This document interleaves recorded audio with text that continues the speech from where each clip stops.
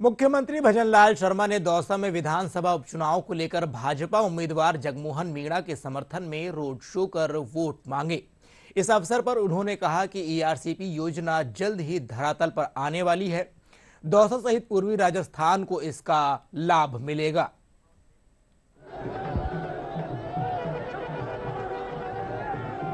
ऐसा व्यक्ति जो पढ़ा लिखा और पूरे अधिकारी पूरे समय अधिकारी है सारी बातों को जानते हैं, सारी बातों को कर सकते हैं और ऐसा व्यक्ति क्योंकि जगमोहन लोग कहते हैं कि नए नए नहीं है।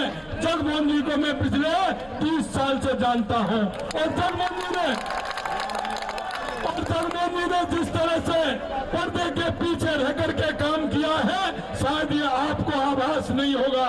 क्योंकि मैं पार्टी में लंबे समय से संगठन में काम करता हूँ तो जगमोहन जी की आवश्यकता पड़ती है। पार्टी हमारा उनको काम में लेती थी।